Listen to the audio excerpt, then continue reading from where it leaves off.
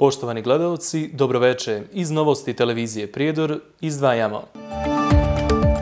Preduzimaju se preventivne mjere povodom najavljenih obilnih padavina u Srpskoj. Marinković, najavljene padavine nose probleme i poljoprivrednicima. Još malo vremena za utvrđivanje minimalne plate u Srpskoj. Prema planu odbrane od poplava koji je usvojila vlada Republike Srpske, Republička uprava civilne zaštite naložila je lokalnim zajednicama da pročiste rizične kanale, angažuju ljudstvo, postojeću ili dodatnu mehanizaciju, te pročiste bujične potoke. U pripravnosti i štab za vanredne situacije grada Prijedora koji je preduzeo preventivne mjere. Uprkos najavljenim obilnim padavinama, građani se nadaju da se neće ponoviti scenarija iz decembra prošle godine kada je u Prijedoru došlo do poplava koje su pričinile veliku štetu na stambenim objektima, poljoprivredi i infrastrukturi. Po mom nekom iskustvu i gledajući ove prognoze, mislim da neće doći do onih bujičnih poplava kao što su bile sad skoro, ovaj, ali da je čudno u januaru tolike padavine, jeste čudno, a to je valjda dana kao i globalnim klimatskim promjenama.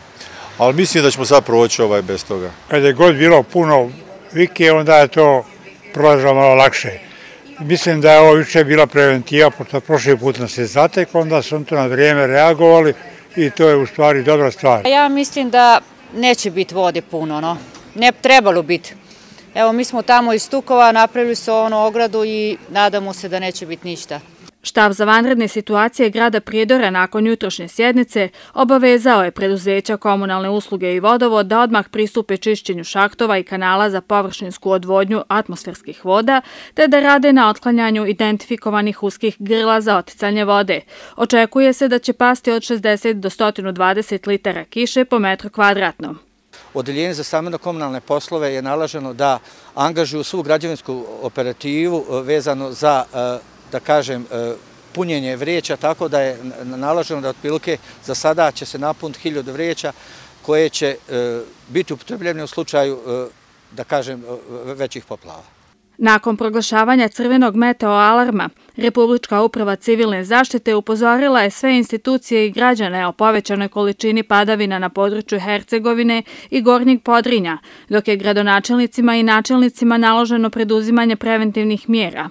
Nema mjesta panici, ali oprez je potreban. Mišljenje je nadležnih koji su danas održali sastanak s premijerom Radovanom Viškovićem.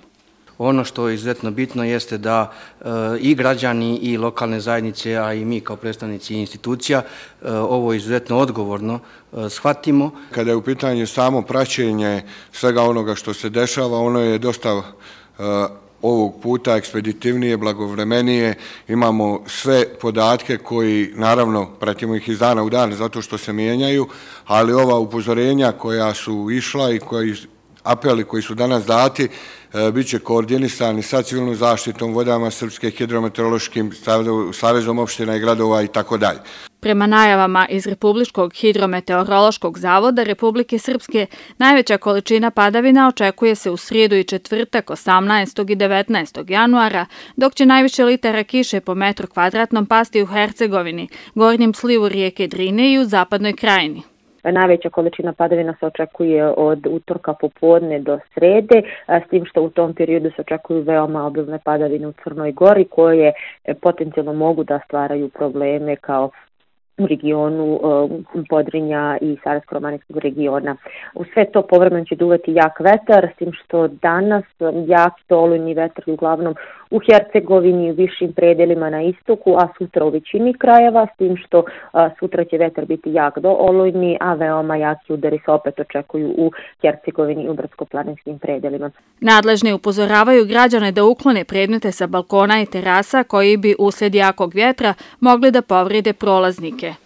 Najavljene velike količine padavina napravit će probleme na zemljištima u nizini i blizu prirodnih vodotoka, te je potrebno pratiti situaciju i djelovati preventivno, rekao je predsjednik Saveza udruženja poljoprivrednih proizvođača Republike Srpske Stojan Marinković. On je istakao da najavljene velike padavine ne idu na ruku poljoprivrednim proizvođačima, jer je ostalo još parcela na kojima nije izvršena osnovna obrada.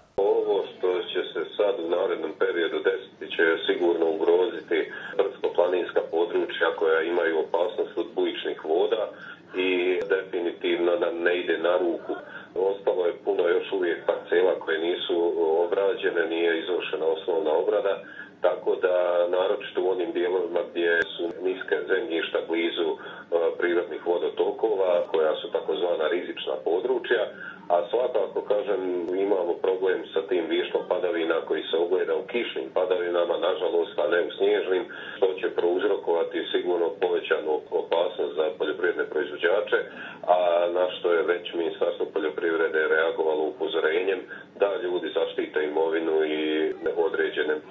magacine i sve ono U toku su pregovori Unije udruženja poslodavaca i Saveza sindikata Republike Srpske o utvrđivanju najniže plate za 2023. godinu. Poslovna zajednica predlaže da to bude 673 marke, dok u sindikatu zahtijevaju iznos od 800 maraka. Matematika jednih i drugih je različita, a ako ne bude dogovora konačnu i obavezujuću odluku, donijeće vlada Republike Srpske. Matematika poslovne zajednice i Saveza sindikata Republike Srpske bitno se razlikuje kada je u pitanju utvrđivanje najniže plate za 2023. godinu. U sindikatu navode da je uzimajući u obzir porast troškova života i zbirnu stopu inflacije neophodno da najniža plata bude minimalno 800 maraka.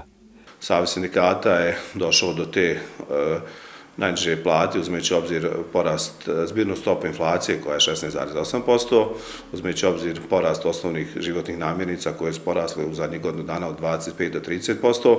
To su sve neki parametri koji nas vode da prva stepenca u toku ove godine bude da to bude odnos e, ovaj bude 800 maraka, a da onda razgovaramo još u sljedećem prvom kvartalu naredne godine da to bude neki osam koji bi bio 1000 maraka koji bi zadovoljio neke osnovne troškove sindikalne potrošačke korbe. Unija udruženja poslodavaca Republike Srpske predložila je da najniža plata u ovoj godini bude 673 marke, što je za 23 marke više u odnosu na dosadašnji minimalac od 650 maraka. U Uniji kažu da ekonomski nije održivo da se povećavanjem najniže plate poslodavci primoravaju da povećavaju i ostale plate, dodajući da nerealan rast najniže plate pravi uranilovku i nezadovoljstvo radnika koji više rade i privređuju.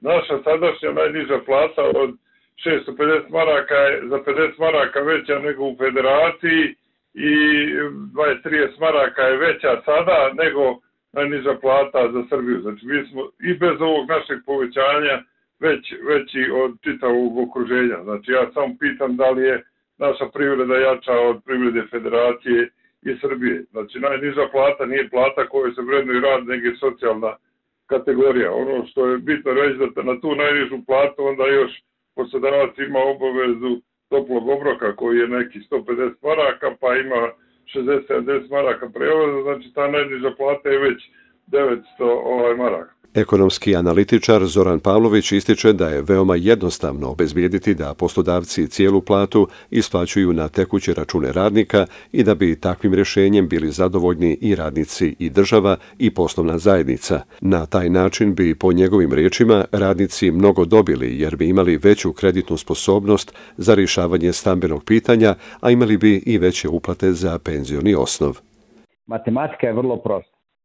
Ako je na 650 maraka isplaćenog minimalca. Obaveza prema fondovima uh, još recimo 350 maraka, pa je to 1000 maraka minimalna plata sa doprinosima.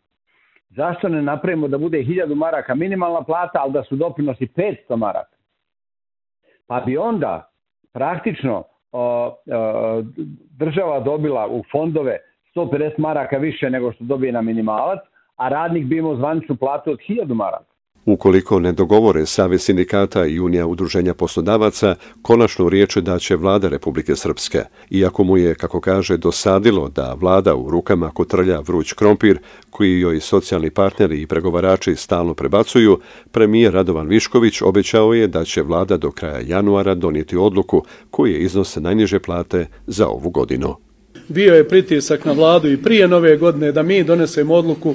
Ja sam i tada jasno i glasno poručio izvolite gospodo, sjete za sto, dogovorite se, nego ovdje, znate, imam onu logiku koja je meni više postala svakodnevnica, e, ne možemo se mi dogovoriti, a kako god vi donesete odluku, kritikovat će i jedni i drugi.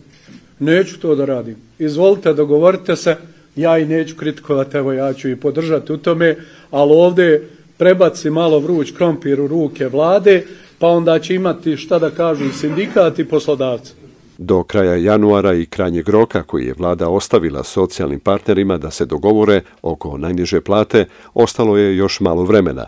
U sindikatu kažu da je ponuda poslovne zajednice da se minimalac poveća za samo 23 marke mizerna i neprihvatljiva – U Uniji udruženja poslodavaca ističu da se plate moraju zaraditi na tržištu i da bi svaki nerealan iznos najniže i ostalih plata mnoge poslodavce odveo u sivu zonu ili primorao da firme presele u druge države.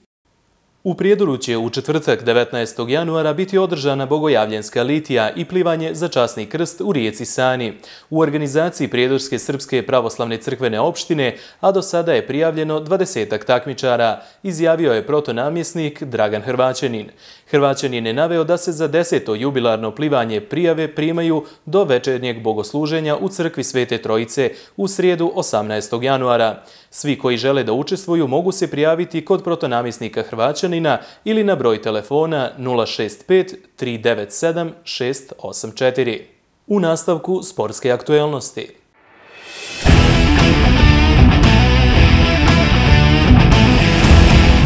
Bojan Krulj, novi je šef stručnog štaba futbalskog kluba Rudar Prijedor, koji je sa igračima započeo pripreme za nastavak sezone u MTL prvoj ligi Republike Srpske.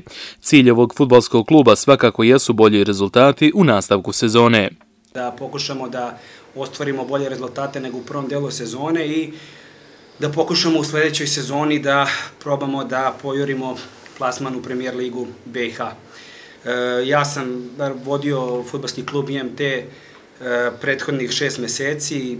Ajde da kažem da smo napravili tada istorijski uspeh kluba e, igravši baraž za popunu Superlige.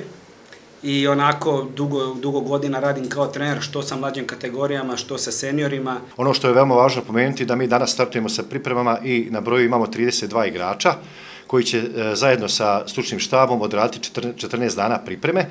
Tu, između ostalog, imamo i saradnju sa Mađarskom školom futbala Feniks i njihova četiri igrača će trenirati narednih 14 dana sa nama. I u upravnom odboru futbolskog kluba Rudar Prijedor nadaju se dobrim rezultatima na tabeli, jer su za igrače obezbijedili dobre pripreme u Medulinu. Mislim da je ovo rješenje koje smo donijeli odlično rješenje i nadam se da će to pokazati rezultati i da ćemo svi zajedno na kraju biti srećni. Da kažem da je uprava izašla u susret, da tako kažem, zahtjevu sportskog sektora da će naši futbaleri ići na pripreme u Medulin. Jedan od ciljeva je i da se stvori ekipa koja će naredne sezone uz adekvatne pripreme obezbijediti plasman u premijer ligu Bosne i Hercegovine, poručeno je iz futbalskog kluba Rudar Prijedor.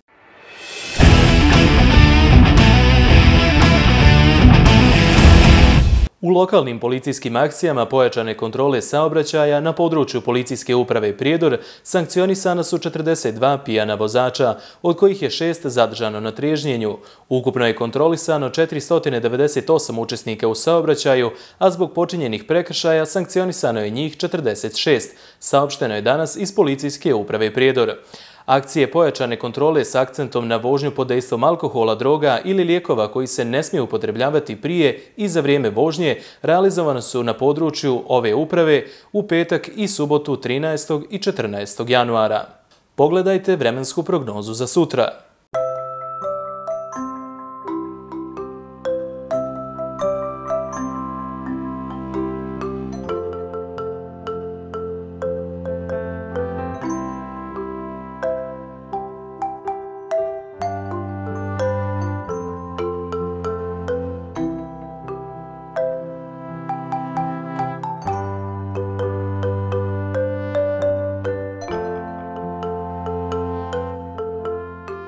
Još jednom podsjećanje na najvažnije vijesti dana. Preduzimaju se preventivne mjere povodom najavljenih obilnih padavina u Srpskoj. Marinković, najavljene padavine nose probleme i poljoprivrednicima. Još malo vremena za utvrđivanje minimalne plate u Srpskoj. Poštovani gledalci, to bi bilo sve što smo vam pripremili u novostima televizije Prijedor. Hvala na pažnji.